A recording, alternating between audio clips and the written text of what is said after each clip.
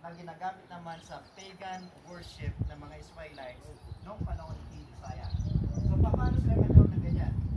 Kaya sila nagkaroon ng altar na ganyan kasi yung mga Israelites, sila ay na-encourage or napulyon sila ng ibang mga lahi dito sa land of Canaan para sumamba sa false worship. And basically, ang famous God ay walang ibang simbahan at saka si Asherah. So kaya yung mga Israelites na in-embrace yung pagan worship, Uh, one more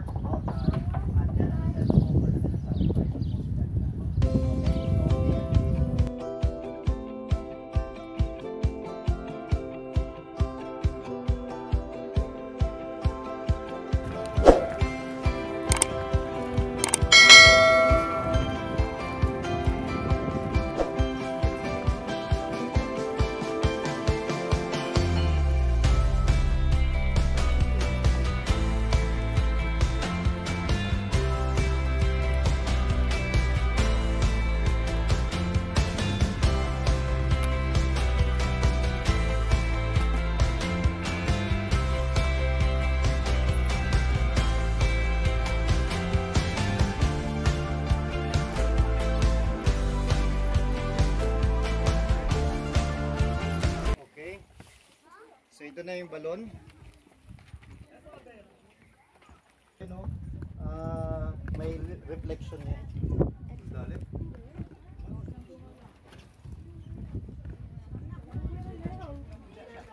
So ito yung balon, around 72 meters ang lalim nito.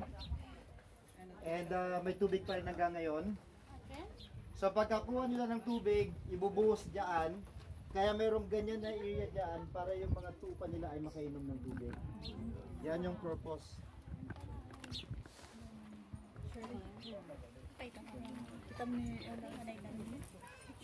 Okay, ito na yung balon ni Abraham. Dito sila nakapag-covenant.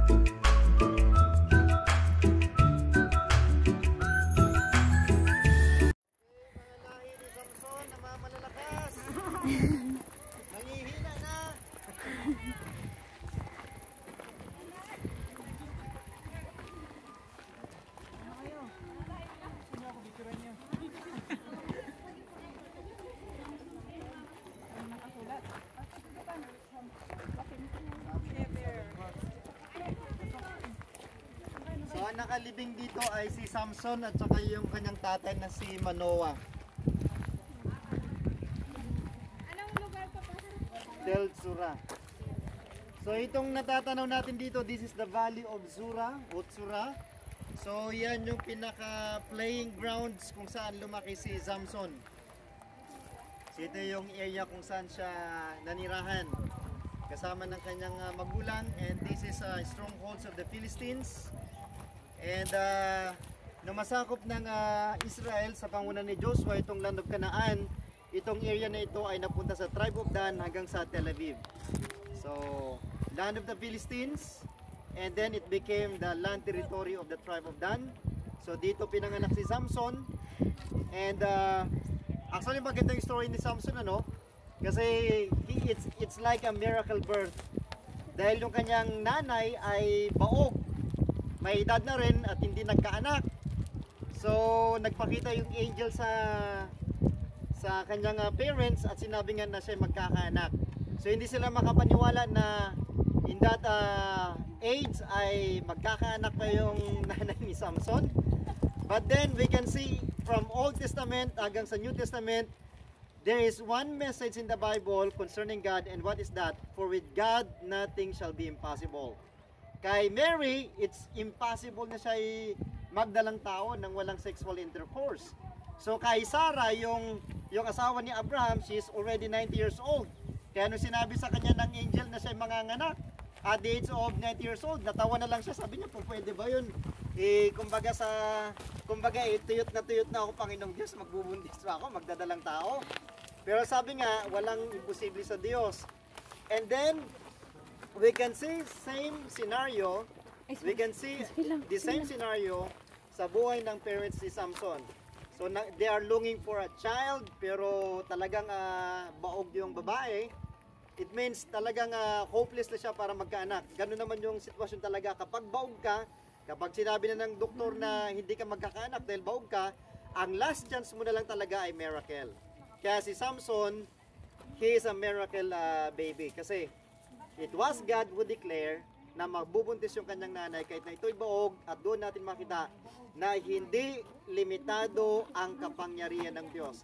Regardless ng anumang sitwasyon natin, kapag niloob ng Diyos, kapag ginusto ng Diyos, wala tayong magagawa. Talagang ang lahat ng bagay ay magaganap, ang lahat ng bagay ay mangyayari. So lagi nating tandaan, walang bagay na mahirap para sa Diyos. So practically, practical application sa buhay natin, there might be na tayo ay naharap sa mga sitwasyon o pagkakataon na may mga hardships din tayo sa buhay. Pero lagi nating tandaan, kung sa paningin natin ay may hirap na isang bagay na kinakaharap natin ngayon, ang po pwede mong lapitan, walang iba kundi yung Diyos. Kasi ang Diyos, walang mahirap sa Kanya, at kung nanaisin ng Panginoong Diyos na solusyonan ng problema ang kinakaharap mo, madali para sa Panginoong Diyos yon.